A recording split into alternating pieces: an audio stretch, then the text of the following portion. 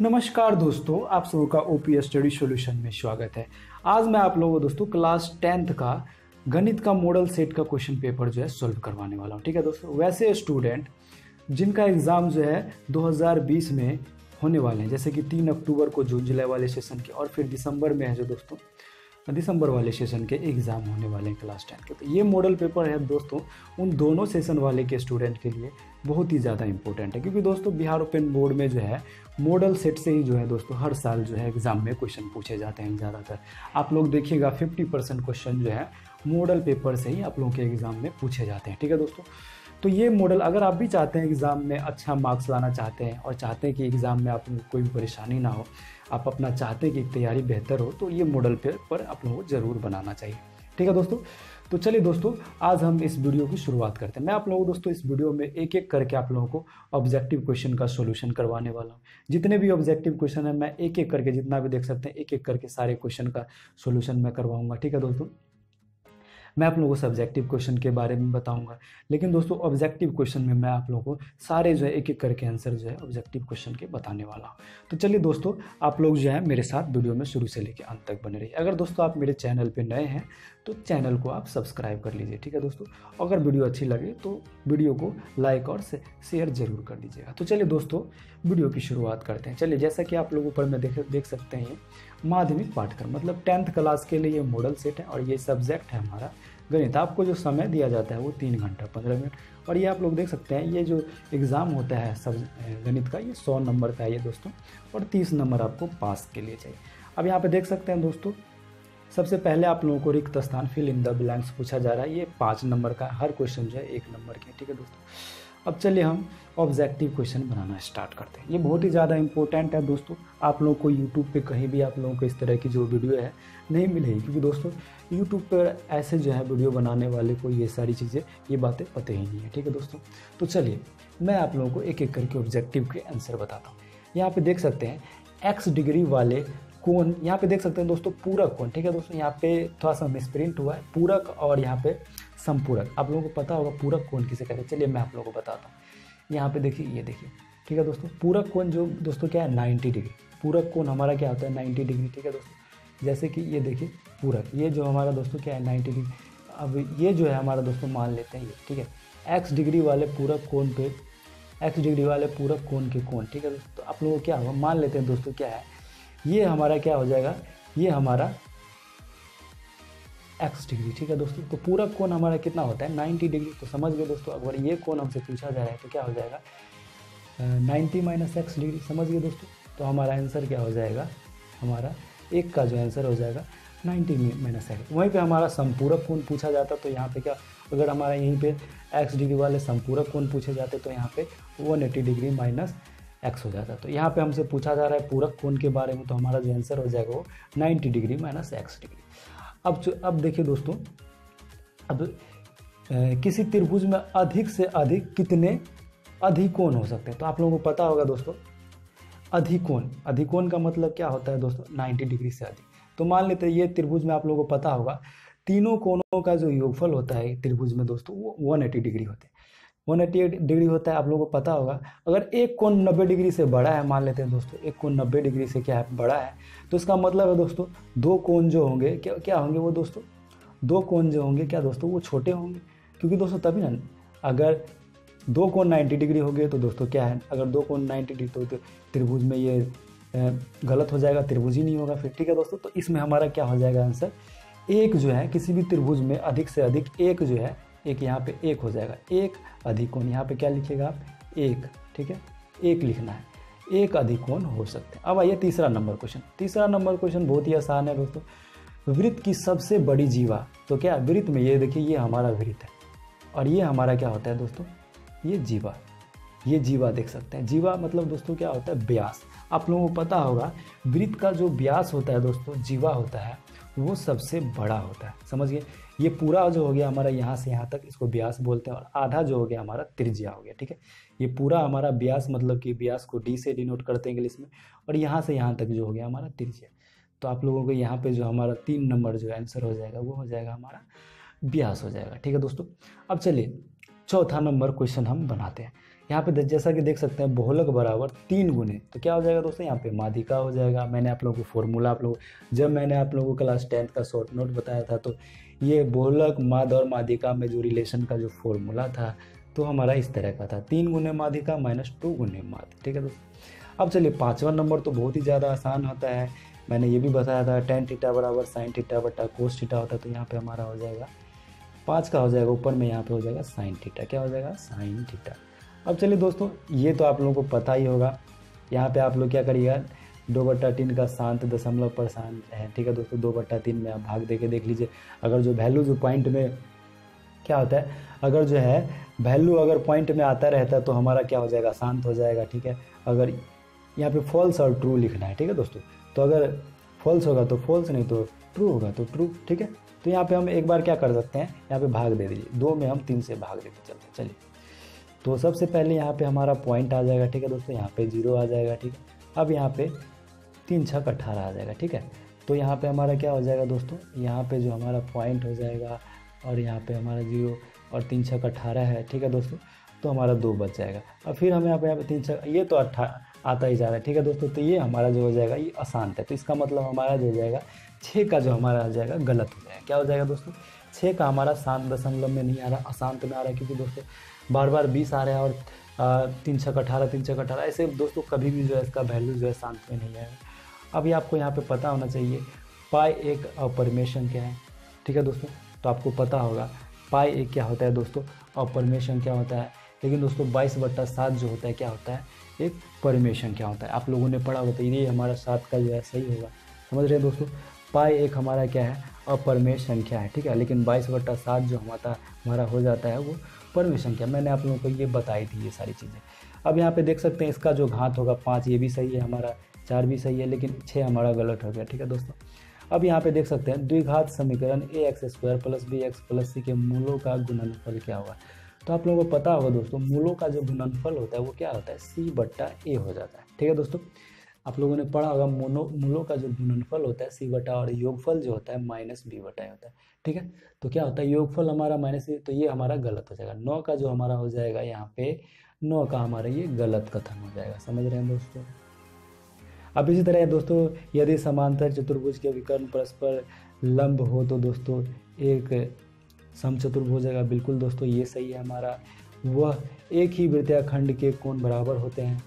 तो एक ही वृत्तिया खंड के कोण देखते हैं दोस्तों। वृत्तिया खंड जो ये देख सकते हैं, कोण बराबर होते हैं। ठीक है दोस्तों, ये कोण जो है, एक ही वृत्तिया वृत्त खंड ठीक है दोस्तों, क्या यहाँ पे थोड़ा सा गलती लिखा हुआ है? एक ही वृत्त खंड के कोण जो होते हैं, हमेशा बराबर होते हैं। ठीक है दोस्तों, यहाँ पे देख सकते हैं दोस्तों, घनाव के आठ शीर्ष छः सतह और बारह किनारे। ठीक है दोस्तों, अब घनाव आप कर सकते हैं। घनाव का फिगर कैसे होता है? आप गिन सकते हैं दोस्तों। यहाँ पे ये हमारा इस तरह से घनाव होता है, ठीक है?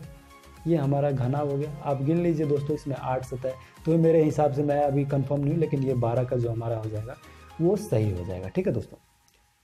चलिए, घनाव में आठ शीर्ष छः सतह बारह किनारे होते हैं। ये हमारा सही हो जाएगा। चलिए दोस्तों, ठीक है? अब चलिए, अब आ जाइए। अब हमारा जो है मिलाने वाला है। मिलाने वाला क्वेश्चन है। अब ये हमारा पे, यहाँ पे मिलाने वाला क्वेश्चन है। तो यहाँ पे देख सकते हैं वन बट्टा सेक थीटा जो होता है दोस्तों, वो क्या होता है? ये हमारा हो जाएगा, एक का जो हो जाएगा ई हो जाएगा, ठीक है? यहाँ पे मैं बगल में ऐसे मिला देता हूँ, एक का जो हमारा हो जाएगा ई हो जाएगा, क्योंकि कोस थीटा का उल्टा वन बट्टा सेक थीटा मतलब कोस थीटा का उल्टा सेक थीटा आप लोगों को पता होगा। यहाँ पे वन माइनस यहाँ पे कोस स्क्वायर थीटा तो ये आप लोगों को पता होगा दोस्तों, यहाँ पे ये जो दो का हो जाएगा हमारा, ये साइन थीटा ठीक है? तो एफ़ हो जाएगा। उसे बेलन का वक्र पृष्ठीय क्षेत्रफल आप लोगों को पता होना चाहिए तो बेलन का क्या हो जाएगा दोस्तों? टू पाई आर एच, ठीक है? ये तो फॉर्मूला पे और शंकु का वक्र पृष्ठीय क्षेत्रफल आप लोगों को पता होगा दोस्तों क्या होता है? पाई आर एल, ठीक है? मैं आप लोगों को जो भी मिला रहा हूँ, आप लोग जो है एक एक करके अब यहाँ पे समलम चतुर्भुज का जो क्षेत्रफल होता है, वो दोस्तों क्या होता है? ये सबसे नीचे वाला आप देख सकते हैं। वो एक बट्टा दो समांतर भुजाओं का योग गुने ऊंचाई होता है।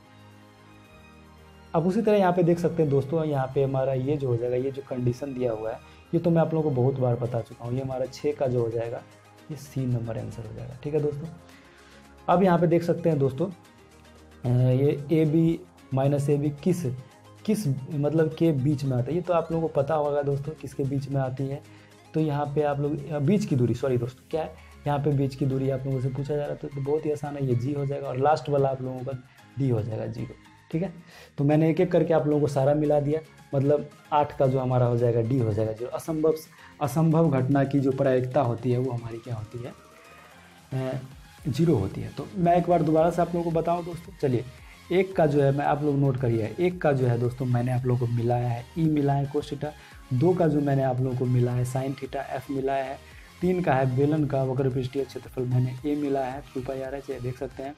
उसके बाद चार का जो मैंने मिलाया है वो बी मिला है पाई आर एल ठीक है पे पाँच का जो मैंने मिलाया है वो एच मिलाया है आप लोग देख सकते हैं और उसी तरह छः का जो मैंने मिलाया है वो सी मिलाया है और सात का जो मिलाया है वो मैंने मिलाया है दोस्तों जी मिलाया है और आठ का जो मिलाया है मैंने डी मिलाया है ठीक है दोस्तों आप अगर कोई दिक्कत आ रही है दोस्तों तो आप मेरी अब आवाज़ को सुन के बार बार जो वीडियो को आप रिवाइंड करिए आप लोगों को पता चल जाएगा तो चलिए दोस्तों इस तरह से जो हमारा ये मिलाने वाला जो ख़त्म हो गया ठीक है दोस्तों अब यहाँ पे देख सकते हैं ऑप्शनल वाले हैं हमारे क्वेश्चन यहाँ पे अब हमारे जो ऑप्शनल वाले। ज़ीरो पॉइंट थ्री का परिमेपिक तो आप लोगों को पता होगा दोस्तों यहाँ पे पॉइंट हटता है तो क्या होता है दोस्तों? ये पॉइंट हटा ली तो, तो तीन बटा दस हो जाएगा चौदह का ये हमारा हो जाएगा। अब पंद्रह का आप लोगों को पता होगा दोस्तों पंद्रह का देखिए। पंद्रह का यहाँ पे देख सकते हैं रूट थ्री ये हमारा क्या हो जाएगा? अपरिमेय संख्या। तो हमारा पंद्रह का सी हो जाएगा चलिए ठीक है। अब माइनस आठ माइनस आठ आप लोगों को ये पता होना चाहिए, जब मैंने आप लोगों को बताया था तो ये सारी चीज़ें मैंने सोलह का ये माइनस आठ और माइनस आठ जो है, किस कोऑर्डिनेट में आएगा? तो आप लोगों को पता होगा। आप लोगों को पता होना चाहिए दोस्तों। निगेटिव आप देखिए, यहाँ पे ये हमारा पॉजिटिव पॉजिटिव हो जाता है। ये हमारा ये हमारा क्या हो जाएगा? निगेटिव पॉजिटिव हो जाएगा। ठीक है दोस्तों? और ये हमारा निगेटिव निगेटिव हो जाएगा। और ये हमारा क्या हो जाएगा दोस्तों? पॉजिटिव और निगेटिव तो ये हो जाएगा हमारा दोस्तों सोलह का तृतीय। मतलब पहला first quadrant second quadrant third quadrant fourth quadrant तो हमारा जो है थर्ड क्वाड्रेंट में आ रहा है। तृतीय जो है चतुरार्थ में मतलब सोलह का जो हमारा हो जाएगा, तृतीय, ए हो जाएगा, सोलह का ए हो जाएगा। अब ये तो आसान है दोस्तों अठारह और पचास का जो है आप एच सी एफ़ निकाल लीजिएगा। महत्तम समापवर्तक ठीक है? अब ये भी आसान है दोस्तों, अभी जो मैंने आप लोगों को बताया, ये जो कंडीशन है, अनेक हल होने के लिए क्या कंडीशन है तो ये सारी चीज़ें आपको पता होनी चाहिए। अनेक हल होंगे, ये सारी चीज़ें कंडीशन मैंने आप लोगों को बताई है ऊपर में। तो चलिए, एक ही क्वेश्चन को मैं बार बार नहीं बताऊँगा। अब यहाँ पे दोस्तों देख सकते हैं एपी निकालना मैंने आप लोगों को बताया था। एपी का मैंने आप लोगों को फॉर्मूला भी बताया था। सारी चीज़ जो है मैंने आप लोगों को बताए हुए हैं, ठीक है दोस्तों? तो ये सारी चीज़ें आप एपी आसानी से निकाल सकते हैं। चलिए, अब बीस का देख लेते हैं। क्योंकि दोस्तों मैं एक ही क्वेश्चन को बार बार बताऊँगा तो आप लोगों का टाइम जो है ज़्यादा लगेगा। चलिए, दो क्वेश्चन मैं बता देता हूँ बार बार पे। यहाँ पे दिए गए एक्स का मान निकाले, ठीक है दोस्तों? तो हमको एक्स का मान जो है पूछा जा रहा है। तो आप लोगों को पता होगा, ये दोस्तों देखिए, ब्रह्मा कोण। आपको कि ब्रह्मा कोण के बारे में आप लोग पढ़ पढ़े होंगे। क्या दोस्तों? ये जो ब्रह्मा कोण होता है, वो त्रिभुज के अंतर जो है, अंतर दो कोने को योग के बराबर होता है। तो हमारा एक्स पूछा जा रहा है एक्स बराबर क्या हो जाएगा? थर्टी प्लस थर्टी फोर तो हमारा क्या हो जाएगा सिक्सटी फोर तो हमारा देख लीजिए बीस का जो आंसर हो जाएगा दोस्तों क्या हो जाएगा? सिक्सटी फोर तो हमारा जो बीस का आंसर हो जाएगा आ, क्या हो जाएगा? चौंसठ हो जाएगा। क्योंकि चौंतीस और जो हम तीस को जोड़ेंगे तो हमारा क्या हो जाएगा दोस्तों? चौंसठ हो जाएगा।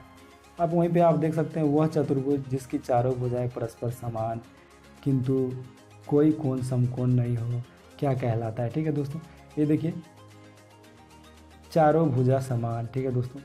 ये आप लोगों को पता होना चाहिए दोस्तों, बिल्कुल आसान है। वर्ग की जो है दोस्तों, क्या होती है? चारों भुजा समान होती है, ठीक है? वर्ग की चारों भुजा समान होती है, लेकिन उनके जो चारे कोण जो होते हैं, नाइन्टी नाइन्टी नाइन्टी डिग्री होते हैं, लेकिन यहाँ पे बोला कोई कोण समकोण ना हो। तो आप लोगों को पता होना चाहिए, चारों भुजा किसकी समान होती है? तो सम चतुर्भुज की, लेकिन उसके जो कोण होते हैं, वो बराबर नहीं होते। तो इक्कीस का जो हमारा हो जाएगा डी हो जाएगा आंसर। समझ गए दोस्तों? अब ये सारे क्वेश्चन बहुत ही आसान है दोस्तों, आशा करता हूँ, अब यहाँ पे देख सकते हैं। यहाँ पे तेईस नंबर। दो वृत्तों का व्यास दिया हुआ है तो उनके क्षेत्रफल का अनुपात। तो चलिए मैं आप लोगों को ये बताने की कोशिश करता हूँ। दो वृत्त दिया हुआ है। तो दो वृत्त है दोस्तों, मान लेते हैं एक वृत्त यह है और एक वृत्त इसका जो हमारा व्यास दिया हुआ है, क्या दिया हुआ है? नौ सेंटीमीटर दिया हुआ है और इसका जो व्यास दिया हुआ हमारा सात सेंटीमीटर। तो उनका तो आप लोगों को पता होगा वृत्त का जो क्षेत्रफल होता है, क्या होता है दोस्तों? पाई आर स्क्वायर, ठीक है? तो पाई आर स्क्वायर होता है, समझ रहे हैं आप लोग दोस्तों? बातें आप समझिए, पाई आर स्क्वायर होता है। तो ये आर वन है बट्टा। पाई आर टू स्क्वायर ये ऐसे कर सकते हैं, ठीक है? चलिए मैं आपको को समझाने की कोशिश करता हूँ। चलिए, क्या हो जाएगा? पाई आर वन का स्क्वायर अब बट्टा पाई आर टू का स्क्वायर ठीक है? क्योंकि हमसे अनुपात पूछा जा रहा है, उनके क्षेत्रफल का अनुपात।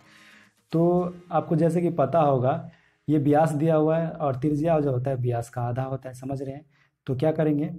यहाँ पे हमको करना पड़ेगा। चलिए तो पाए और गुना में आर क्या हो जाएगा? नौ बट्टा टू का होल स्क्वायर, ठीक है? बट्टा में पाए, ठीक है? और सात बट्टा टू का होल स्क्वायर, ठीक है? पाई पाई तो हमारा कट जाएगा। समझ रहे हैं आप लोग दोस्तों? बिल्कुल पाई पाई हमारा जो है कट जाएगा। अब नीचे वाला पोर्शन आप देखिए। नीचे वाला दो दूना चार, दो दूना, ये तो हमारा कट जाएगा। तो नौ नवा इक्यासी और सातों सातों, उनचास तो हमारा क्या हो गया दोस्तों? इक्यासी बट्टा उनचास। क्या हो गया? हमारा सारा जो कट के जो हमारा आ गया, इक्यासी बट्टा उनचास। तो हमारा अनुपात में लिखेंगे तो इक्यासी अनुपात उनचास हो जाएगा आंसर। कहीं है दोस्तों तो यहाँ पे देख सकते हैं। तो इसका जो हमारा हो जाएगा, डी हो जाएगा आंसर। मतलब दो वृत्तों के व्यास इतना है तो उनके क्षेत्रफल का जो अनुपात हो जाएगा, इक्यासी अनुपात उनचास। ठीक है दोस्तों मतलब 81 अनुपात 49 ठीक है दोस्तों? तो आप लोग समझ गए, मैंने एक एक करके सारे ऑब्जेक्टिव आप लोगों को बता दिए। ये ऑब्जेक्टिव में कोई दम नहीं है दोस्तों, बहुत ही ज़्यादा आसान है। आप लोग एक बार अगर रिवाइज कर लीजिए, मैं आप लोग एक बार बता दूँगा मैं क्योंकि बहुत ही आसान तरीके में बताता हूँ। हम लोगों के पास दो तो डीपली डीपली नॉलेज है, इसलिए हम लोग दोस्तों बिल्कुल ही तोड़ तोड़ के बताते हैं। आप लोगों को समझने में कहीं भी कोई दिक्कत नहीं हुई, ठीक है दोस्तों? चलिए तो हमारा ये ख़त्म हो गया। और यहाँ पे देख सकते हैं, लघु उत्तरीय बहुत ही आसान है दोस्तों। यहाँ पे इक्कीस सेंटीमीटर त्रिज्या दिया हुआ है, इतने कौन है तो चाप की लंबाई। तो मैंने आप लोगों को बताया था, चाप की लंबाई निकाल ठीठा बटा तीन सौ साठ डिग्री गुने टू पाई आर इसका होता है चाप की लंबाई। अगर त्रिज्या खंड का क्षेत्रफल पूछा जाता तो दोस्तों पाई आर स्क्वायर हो जाता। है बहुत ही आसान क्वेश्चन सर मुझे नहीं लगता आप लोग कहीं भी फंसीएगा। मैंने जितना आप लोगों को पढ़ाया है, आप लोग आसानी से शॉर्ट नोट में मैंने आप लोगों को बताया तो आप लोग आसानी से ये सारे क्वेश्चन सॉल्व कर लीजिएगा। ठीक है दोस्तों? जैसे यहाँ पे देख सकते हैं इसको प्रूफ अगर आप लोग दोस्तों कमेंट करिएगा, अगर आप लोगों को इसके चाहिए सोल्यूशन भी चाहिए लॉन्ग टाइप क्वेश्चन के सोल्यूशन तो मैं एक आप लोगों को सेपरेट वीडियो जो है इसके बना दूँगा, ठीक है? जो भी लॉन्ग टाइप के क्वेश्चन है, जैसे ये सब है, सारे मैं प्रूफ करके उस वीडियो में बना दूँगा। थोड़ा सा टाइम लगेगा, आधा घंटा का वीडियो होगा, क्योंकि दोस्तों लॉन्ग टाइप क्वेश्चन बनाने में थोड़ा सा टाइम लगता है। अब यहाँ पर ये सारी चीज़ें आप लोगों को बहुत आसान है। चलिए दोस्तों, बहुत ही आसान क्वेश्चन है, मुझे नहीं लगता कहीं भी कोई दिक्कत होने वाली है, ठीक है? तो चलिए मैं आप लोगों को थोड़ा धीरे धीरे करके दिखाने की कोशिश करता हूँ। इस तरह से बहुत ही आसान क्वेश्चन है, ये सब बहुत ही आसान है। मुझे लगता है कहीं भी। यहाँ पे आप लोग देख सकते हैं दोस्तों, ये ग्राफीय विधि से सॉल्यूशन करने के लिए। ये तो क्वेश्चन एक बार रहेगा। एक क्वेश्चन ग्राफीय दोस्तों, समीकरण में कुछ न एक नए क्वेश्चन रहता है तो आप ये, आप बना लीजिएगा। बहुत ही ज़्यादा इंपॉर्टेंट अब यहाँ पे देख सकते हैं, यहाँ पे आप लोगों को त्रिभुज की रचना करने के लिए बोला है। बहुत ही आसान है। त्रिभुज की रचना किस तरह की जाती है, ये सारी चीज़ें मैं आप लोगों को बता चुका हूँ। आप लोग अगर मेरी वीडियो देखिएगा, मैंने टेंथ क्लास का जो है दोस्तों पढ़ाया हुआ है। मैं पहले आप लोगों को Bihar Bihar school exam, Bihar board के लिए दोस्तों टेंथ की मैथ पढ़ाता था, उसमें सारी चीज़ें आप लोगों को पता होगा। नीचे जाइएगा तो वीडियो में आप लोगों को मिल जाएँगे सारी चीज़ें। तो चलिए दोस्तों, इतना ही था हमारा। टेंथ में इतना ही क्वेश्चन पूछा जाता है। तो आशा करता हूँ दोस्तों आप लोगों को जो है ये मैथ का जो टेंथ क्लास का मॉडल सेट क्वेश्चन पेपर है, ये सारी चीज़ें आप लोगों को सोल्यूशन मिल गई होगी और क्या क्या क्वेश्चन जो है पूछे जाएँगे, ये आप लोगों को पता चल गई तो आशा करता हूँ दोस्तों आप लोगों को वीडियो पसंद आई होगी। ठीक है दोस्तों? वीडियो पसंद आई होगी तो दोस्तों क्या करिएगा चैनल को सब्सक्राइब ज़रूर करें और ज़्यादा से ज़्यादा वीडियो को शेयर करें, जिससे कि ज़्यादा से ज़्यादा बच्चों को ये जानकारी मिल सके। हम चाहते हैं कि दोस्तों ज़्यादा से ज़्यादा बच्चे जो हैं इस वीडियो का लाभ उठा पाएँ और वो भी अपने एग्ज़ाम में अच्छा अंक जो है हासिल कर पाएँ, प्राप्त कर सकें। ठीक है दोस्तों तो आज की वीडियो में बस इतना ही, फिर मिलेंगे अगली वीडियो में। जुड़े रहिए, नेक्स्ट वीडियो ज़रूरी जल्दी ही आने वाली है। तो जुड़े रहिए मेरे चैनल के साथ, तब तक के लिए धन्यवाद। Thank you.